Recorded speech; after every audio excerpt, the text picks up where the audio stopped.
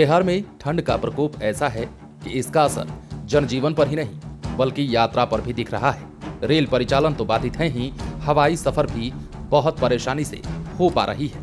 ऐसे में बिहार में अब लोग परेशान हो रहे हैं। इसके साथ ही रेलवे स्टेशनों पर 10-10, 12-12 घंटे इंतज़ार करने के बाद भी ट्रेनों के दर्शन नहीं हो रहे हैं। क्या कह रहे हैं लोग और किस प्रकार लोगों को परेशानी हो रही है? हम आपको इस वीडियो में बताने जा रहे हैं। इसके साथ ही ये भी बताएँगे कि कौन कौन सी ट्रेनें देर से चल रही हैं और कितनी लेट से चल रही हैं। यदि आप बिहार से ताल्लुक रखते हैं तो इस खबर पर बने रहें। दरअसल घने कोहरे के कारण भागलपुर रूट की ट्रेनें देरी से चल रही हैं। सोमवार रात पहुँचने वाली डाउन फरक्का एक्सप्रेस मंगलवार दोपहर एक बजकर बारह मिनट पर भागलपुर पहुँची। ये ट्रेन 11 घंटे लेट से पहुँची थी। इस ट्रेन के भागलपुर पहुँचने का समय रात के दो बजकर चौदह मिनट पर निर्धारित है। इसके साथ ही विक्रमशिला एक्सप्रेस मंगलवार को भागलपुर में रद्द रही, जबकि डाउन विक्रमशिला एक्सप्रेस 16 घंटे की देरी से रात 12 बजे के बाद भागलपुर पहुँचने की संभावना जताई गई। बीते सोमवार को ये ट्रेन रात के 12 बजे के बाद भागलपुर पहुँची थी। भागलपुर पहुँचने का समय सुबह आठ बजकर पंद्रह मिनट पर निर्धारित है।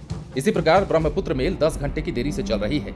इसके साथ ही अगर बात करें गरीब रथ की तो डाउन गरीब रथ एक्सप्रेस 11 घंटे की देरी से चल रही थी। इस कारण भागलपुर से आनंद विहार टर्मिनल के लिए आप गरीब रथ का रेशेड्यूल रात के 9 बजे किया गया।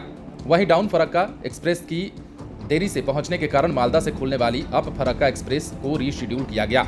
ये रात के बारह बजकर पाँच मिनट पर खुली, जबकि इसके वहाँ से खुलने का समय शाम सात बजकर पंद्रह मिनट पर निर्धारित था। ये ट्रेन भी भागलपुर में रात के तीन बजे के बाद पहुँची। बता दें कि प्रयागराज में माघ मेला को देखते हुए मध्य रेलवे ने विंध्याचल स्टेशन पर 14, 15, 21, 22, 26 और 27 जनवरी को मेल और एक्सप्रेस रेलगाड़ियों का दो मिनट का अस्थायी ठहराव दिया है। भागलपुर के रास्ते चलने वाली ब्रह्मपुत्र और गुवाहाटी लोकमान्य तिलक एक्सप्रेस विंध्याचल में दो मिनट के लिए रुकेगी।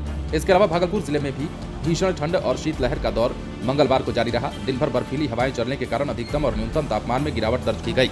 सबसे खास बात ये कि बिहार में ठंड का प्रकोप जो है यातायात पर दिख रहा है और इसी कारण ट्रेन के चक्के भी रुक से गए हैं, जिस कारण लोगों को काफ़ी परेशानी हो रही है। यदि हम यात्रियों की परेशानी की बात कर लेते हैं तो पटना जंक्शन पर ही नहीं, बिहार के तमाम स्टेशनों पर आपको रात के या दिन के किसी भी समय यात्री परेशान दिख जाएँगे, और ये बताते हुए दिख जाएँगे कि 10 से 12 घंटे से वो ट्रेनों का इंतज़ार कर रहे हैं, लेकिन ट्रेन नहीं मिल पा रही है। ऐसे में समय तो जा ही रहा है, लोग अगर समय पर जिस स्थान पर पहुँचना चाहते हैं, वहाँ भी नहीं पहुँच पा रहे बने रहे लाइव सिटीज़ के साथ। यदि अब तक आपने हमारे चैनल को सब्सक्राइब नहीं किया है तो सब्सक्राइब कर लीजिए।